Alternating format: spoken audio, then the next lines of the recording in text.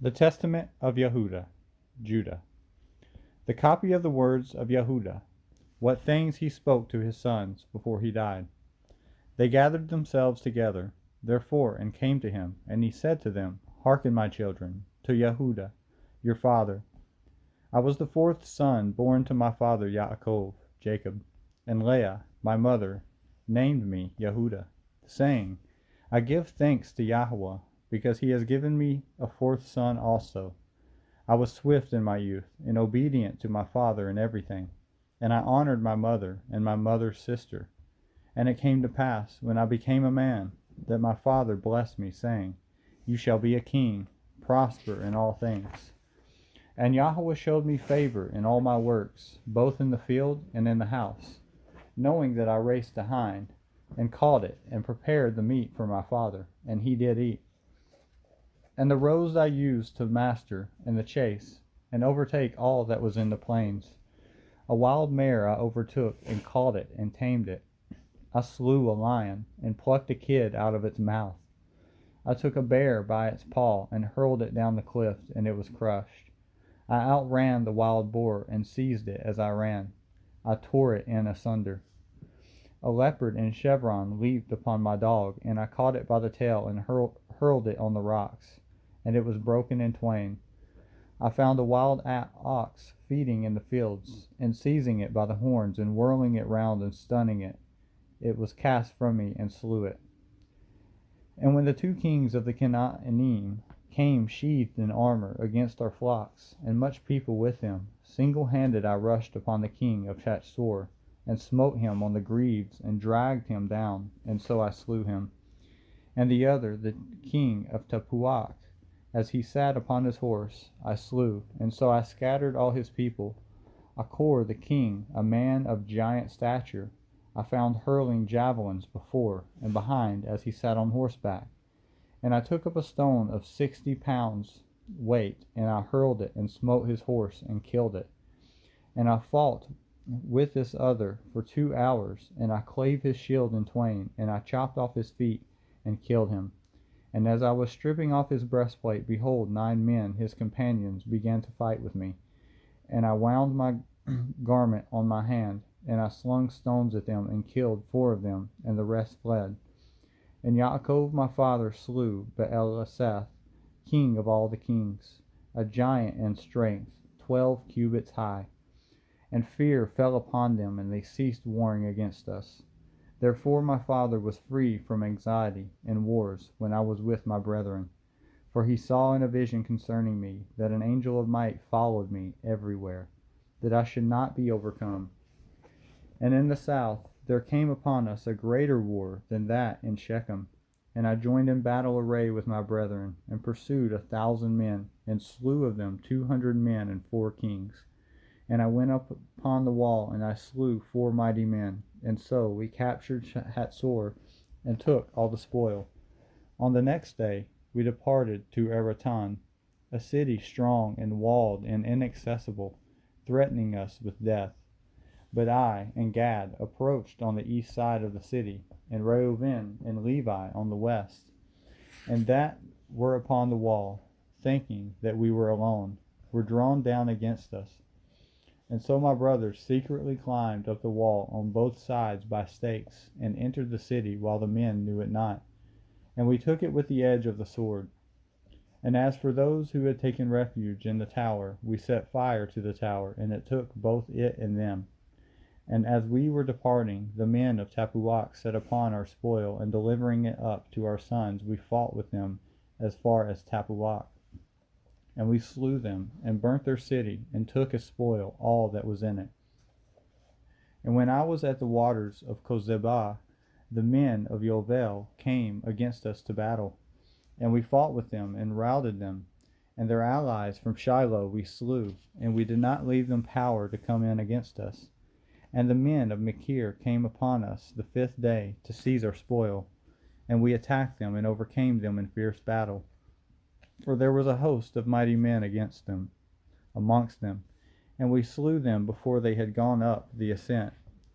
And when we came to their city, their women rolled upon us stones from the brow of the hill on which the city stood, And I and Shimon hid ourselves behind the town, and seized upon the heights, and destroyed the city also. And the next day it was told us that the king of the city of Gaash with a mighty host was coming against us. I therefore and Dan feigned ourselves to be Amorim, and as allies we went into their city. And in the depth of night our brethren came, and we opened to them the gates, and we destroyed all the men and their substance, and we took for a prey all that was theirs. And their three walls we cast down, and we drew near to Thamna, where all where was all the substance of the hostile kings. Then, being insulted by them, I was therefore wroth, and rushed against them to, to the summit. And they kept slinging against me stones and darts. And had not Dan my brother aided me, they would have slain me. We came upon them, therefore, with wrath, and they all fled. And passing by another way, they besought my father, and he made peace with them. And we did to them no hurt, and they became tributary to us and we restored to them their spoil. And I built Thamna, and my father built Pabael. I was twenty years old when this war befell. And the Canaanim feared me and my brethren. And I had much cattle, and I had for chief herdsman Iram the Adulami. And when I went to him, I saw Parsaba, king of Adulam, and he spoke unto us, and he made us a feast. And when I was heated, he gave me his daughter, Bathshua, to be my woman. She bore me Er, and Onan, and Shelach. The two of them Yah- Yahweh smote. For Shelach lived, and his children are you. And eighteen years my father abode in peace with his brother Esau, and his sons with us, after we came from Aram Naharim, from Lavan, and when eighteen years were fulfilled, in the fortieth year of my life, Esau, the brother of my father, came upon us with a mighty and strong people. And Yaakov smote Esau with an arrow, and he was taken up wounded on Mount Seir. And as he went, he died at Adon, on Adoniram. And we pursued after the sons of Esau. Now they had a city with walls of iron and gates of brass, and we could not enter into it, and we encamped around and besieged it. And when they opened not to us in twenty days, I set up a ladder in the sight of all, and with my shield upon my head I went up, sustaining the assault of stones, upwards of three talents weight. And I slew four of their mighty men, and Reuben and Gad slew six others. Then they asked from us terms of peace and having given counsel with our father, we received them as tributaries. And they gave us five hundred cors of wheat, five hundred baths of oil, five hundred measures of wine, until the famine, when we went down into Mitzrayim. And after these things my son Er took to be his woman Tamar, from Aram Naharaim, a daughter of Aram.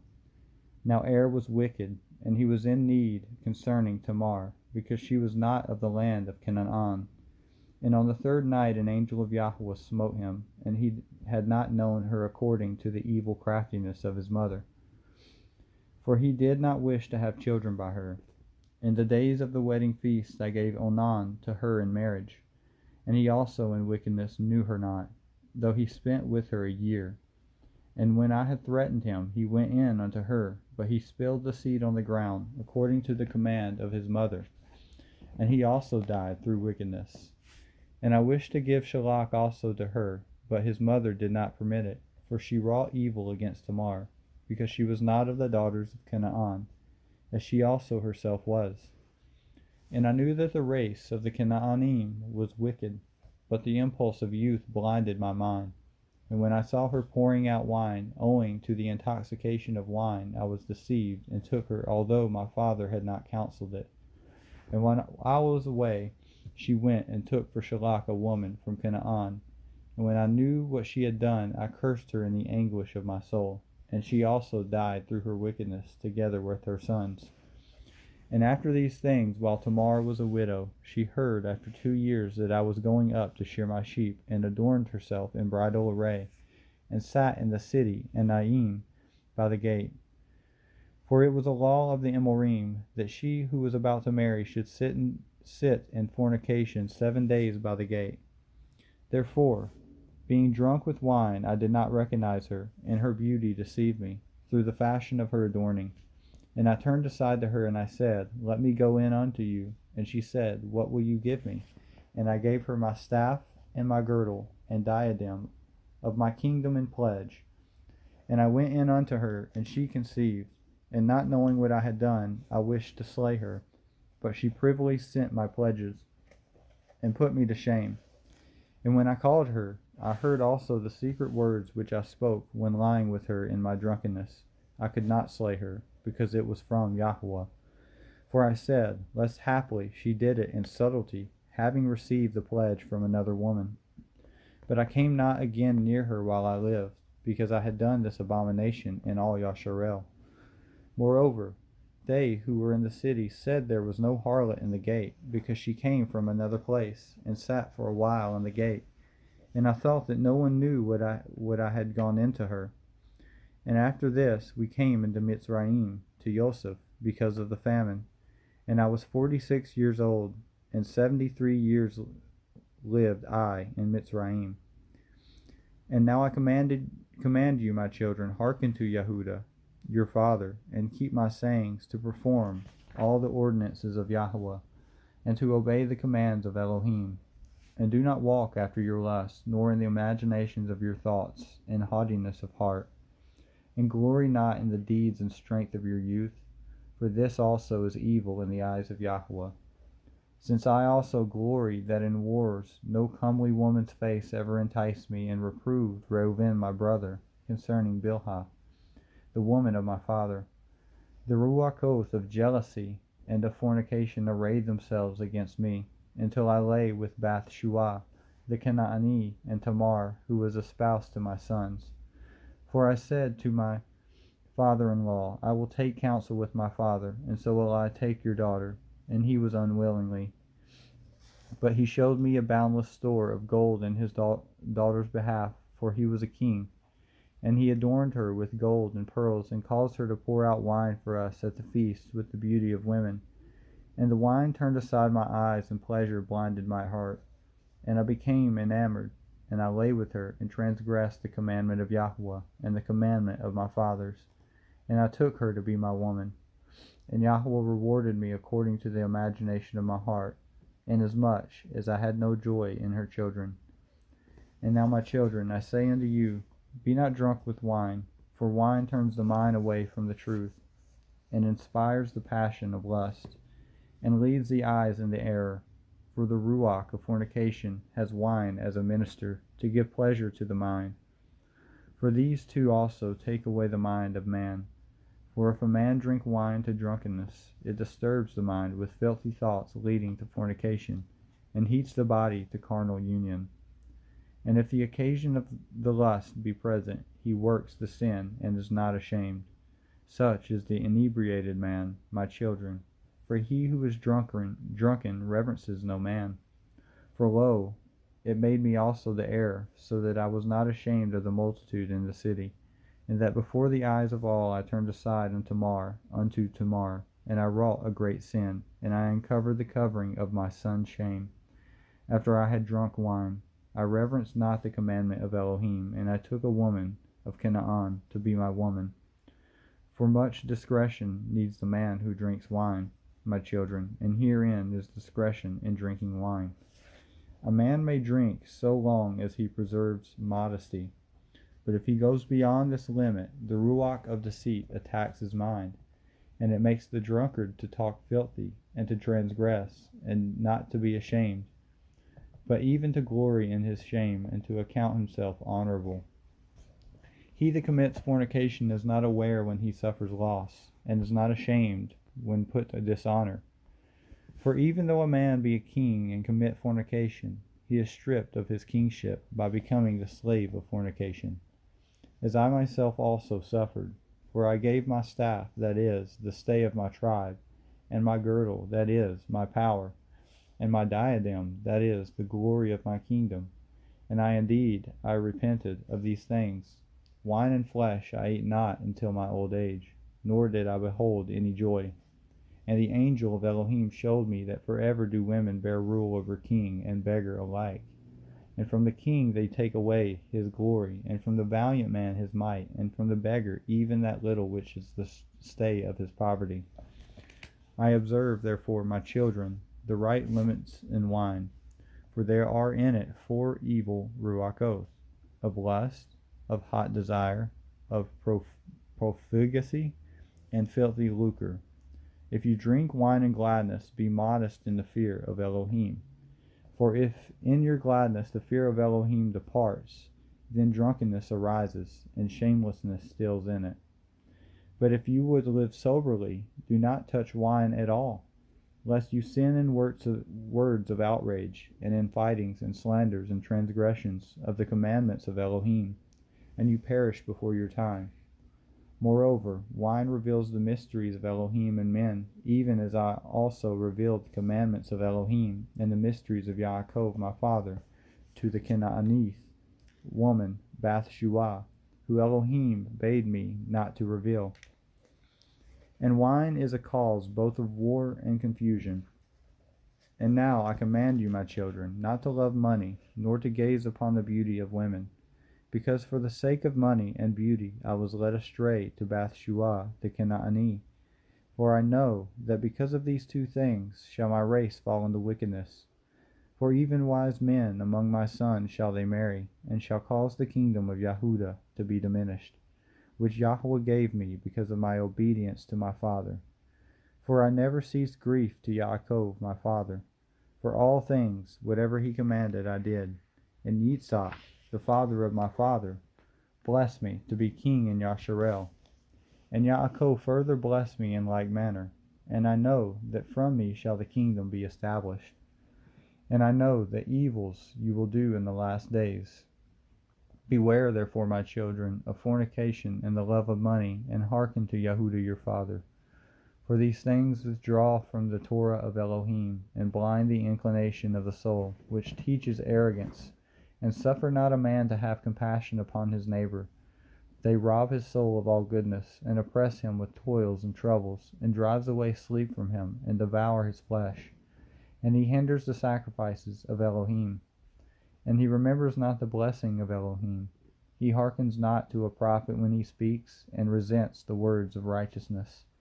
For he is a slave to two contrary passions, and cannot obey Elohim, because they have blinded his soul and he walks in the day as in the night. My children, the love of money leads to adultery, because when led astray through money, men name as Elohim those who are not Elohim, and it causes him who has it to fall into madness. For the sake of money I lost my children, and had not my repentance and my humiliation, and the prayers of my fathers, my father being accepted. I should have died childless, but the Elohim of my fathers had mercy on me, because I did it in ignorance. And the prince of deceit blinded me, and I sinned as a man in his flesh, being corrupted through sins, and I learnt my own weakness while thinking myself invincible. Know therefore, my children, that two Ruachoth wait upon man the Ruach Emeth, the Ruach and the Ruach of deceit, and in the midst it is the Ruach Binah of the mind to which it belongs to turn wherever it will. And the works of truth and the works of deceit are written upon the hearts of men, and each one of them Yahweh knows. And there is no time at which the works of men cannot be hid. For on the heart itself have there been written down before Yahweh. And the Ruach Emeth testifies all things and accuses all. And the sinner is burnt up in his own heart, and cannot raise, raise his face to the judge. And now, my children, I command you, love Levi, Levi, that you may abide and exalt not yourselves against him, lest you be utterly destroyed. For to me Yahweh gave the kingdom, and to him the priesthood, and he set the kingdom beneath the priesthood. To me he gave the things upon the earth, to him the things in heaven. As the heaven is higher than the earth, so is the priesthood of Elohim higher than the earthly kingdom unless it falls away through sin from Yahweh and is dominated dominated by the earthly kingdom. For the angel of Yahweh said unto me, Yahweh chose him rather than you to draw near to him, and to eat of his table, and to offer him the first fruits of his of the choice things of the sons of Yasharel. But you shall be king of Yaakov, and you shall be amongst them as the sea. For as on the sea just and unjust are tossed about, some taken into captivity, while some are enriched. So also shall every race of men be in you. Some shall be impoverished, being taken captive, and others grow rich by plundering the possessions of others. For the kings shall be as sea monsters. They shall swallow men like fish. The sons and daughters of free men shall they enslave. Houses, lands, flocks, money shall they plunder. And with the flesh of many shall they wrongfully feed the ravens and the cranes. And they shall advance in evil, in covetousness uplifted, and there shall be false prophets like tempests, and they shall persecute all righteous men. And Yahweh shall bring upon them division one against another, and there shall be continual wars in Yasharel, and among men of another race shall my kingdom be brought to an end, until the salvation of Yasharel shall come, until the appearing of the Elohim of righteousness, that Yaakov and all the other nations may rest in peace. And he shall guard the might of the kingdom forever for Yahweh swore to me with an oath that he would not destroy the kingdom from my seed for forever. Now I have much grief, my children, because of your lewdness and witchcrafts and adulteries which you which you shall practice against the kingdom, following them that have familiar spirits, diviners, and devils of error. You shall make your daughters singing girls and harlots, and you shall mingle in the abominations of the other nations for which things' sake Yahweh shall bring upon you famine and pestilence, death and the sword, beleaguering by enemies and revilings of friends, the slaughter of children, the rape of your women, the plundering of possessions, the burning of the temple of Elohim, the laying waste of the land, the enslavement of yourselves among the other nations. And they shall make some of you eunuchs for their women, until Yahweh visit you with a perfect heart you repent and walk in all his commandments, and he bring you up from captivity among the other nations. And after these things shall a star arise to you from Yaakov in peace, and a man shall arise from my seed like the sun of righteousness, walking with the sons of men in meekness and righteousness. And no sin shall be found in him, Yahusha. And the heavens shall be open unto him to pour out the Ruach, the blessing of the Kodesh Father and he shall pour out the ruach of grace upon you. And you shall be unto him sons in truth, and you shall walk in his commandments first and last. This branch of El Elyon, and this fountain, giving life unto all. Then shall the scepter of my kingdom shine forth, and from your root shall arise a stem, and from it shall grow a rod of righteousness to the other nations, to judge and to save all that call upon Yahweh. And after these things shall Abraham and Yitzhak and Yaakov arise into life, and I and my brethren shall be chiefs of the tribes of Yasharel. Levi first, I the second, Yosef third, Benjamin fourth, Shimon fifth, Yishakar sixth, and so all in order. And Yahweh blessed Levi and the angel of the presence, me, the power of glory, Shimon the heaven, Reuven the earth, Yishakar the sea, Zebulun the mountains, Yosef the tabernacle, Benjamin the luminaries, Dan Eden, Naphtali the sun, Gad the moon, Asher. And you shall be the people of Yahweh, and have one tongue, and there shall be there no ruach of deceit of Baal, for he shall be cast into the fire forever. And they who have died in grief shall arise in joy, and they who were poor for Yahweh's sake shall be made rich and they who are put to death for Yahweh's sake shall awake to life. And the deer of Yaakov shall run in joyfulness, and the eagles of Yasharel shall fly in gladness, and all the people shall glorify Yahweh forever. Guard therefore, my children, all the Torah of Yahweh, for there is hope for all them who hold fast unto his ways. And he said to them, Behold, I die before your eyes this day, one hundred and nineteen years old. Let no one bury me in costly apparel, nor tear open my bowels. For this shall they who are kings do, and carry me up to Chevron with you.